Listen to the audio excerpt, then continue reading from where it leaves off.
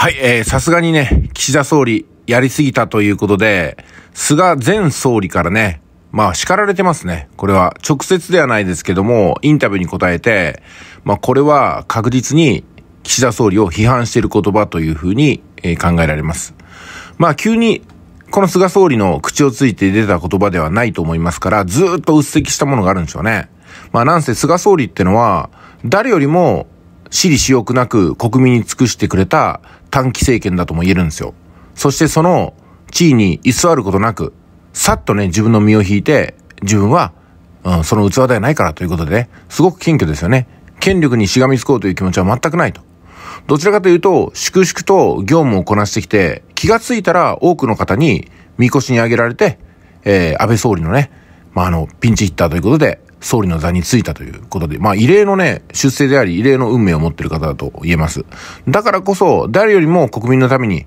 自分の身を晒してきたからこそ、岸田総理のこの、勝手ぶりが許せないんじゃないかなと思います。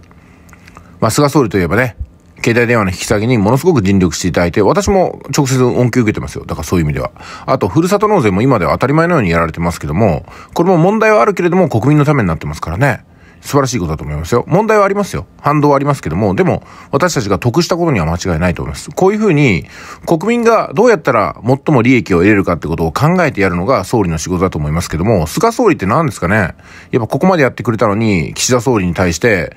まあ増税はね、すぐにポンポン決めるし、で、国民の所得は上げないし、自分の息子をね、秘書官に当てて、給料バンバン払うし、で、あれでしょ？寒い中アイスクリーム食べてイエーイみたいなインスタグラム投稿してるし、本当にね、腹が立つ岸田総理ですよね。まあ、その言葉を、国民の言葉を代弁して、菅総理がね、これからお話しくださいますんで、直接インタビューの模様をどうぞ。総理でありながら、派閥の会長を続けるのはいかがなものか、と、菅前総理が岸田総理に苦言を呈しました。まあ、総理大臣というのは、国民全体の先頭に立って汗を流す立場にあると。こういうふうに考えております。ですから、まあ、歴代の総理大臣の多くの政